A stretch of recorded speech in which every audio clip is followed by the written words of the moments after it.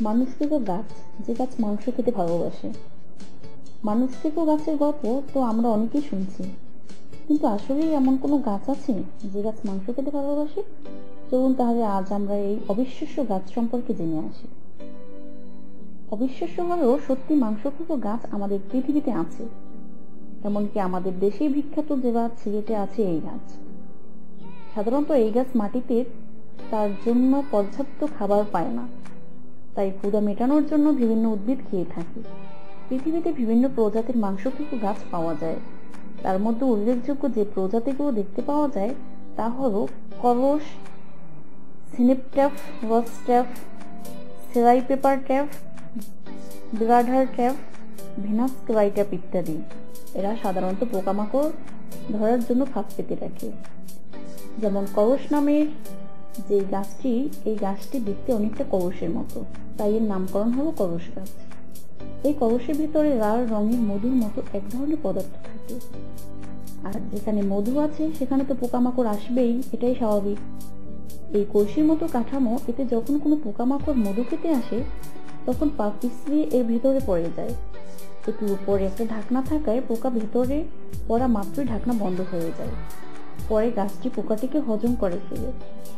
আজ পর্যন্ত পৃথিবীতে খুঁজে পাওয়া সেরা মাংসকৃত গাছ ভেনাস ক্লাইট্রে আমেরিকার সাউথ নর্থ ক্যারোলিনায় এই উদ্ভিদগুলো ব্যাপকভাবে পাওয়া যায়। গাছগুলো প্রায় এক ফুটের মতো লম্বা হয়। তবে ভেনাস ক্লাইটাপের পাতাগুলো দেখতে অনেকটা মুখের চলের মতো হয়। গাছের প্রতিটি পাতা তিন থেকে ছয় ইঞ্চি পরিমাণ লম্বা হয় এবং এতে অনেকগুলো ছোট ছোট রুম থাকে।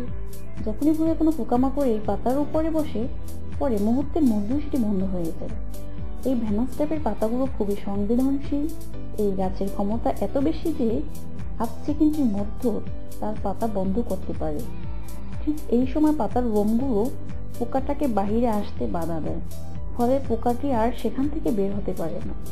পরবর্তীতে পাতা থেকে এক বিশেষ রস বের হয়ে পোকাটিকে হজম করতে শুরু করে। এভাবে একটা পোকাকে হজম করতে ভেনাস টাপের সময় লাগে দশ দিনের মতো। ভেনাস টাপের পাতা একসাথে তিন থেকে চারটি পোকা ধরে রাখতে পারে। পরবর্তীতে যখন এর কার্যক্ষমতা নষ্ট হয়ে যায়, তখন আবার নতুন পাতা গজায়। আবার পুনরায় সে পাতাগুলো পোকামাকড় ধরতে শুরু করে।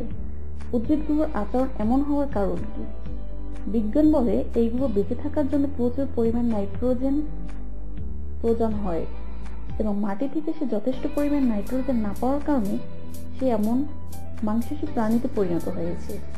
আবার কিছু কিছু বিজ্ঞানী বিশ্বাস করেন, পরিবর্তিত পরিবেশে টিকে থাকার জন্য বিবর্তনের মাধ্যমে এইসব উদ্ভিদ মাংসাশী প্রাণীতে পরিণত হয়েছে। আরও অবাক করার ব্যাপার হলো, এই উদ্ভিদ প্রায় সকল কীট পতঙ্গ খেয়ে থাকে। তবে অন্যান্য প্রাণীর থেকে ইঁদুর বেশি, এই মাংসাশী প্রাণীর কবলে বেশি পড়ে। আবার ইঁদুরই হলো এই গাছের প্রিয় খাবার।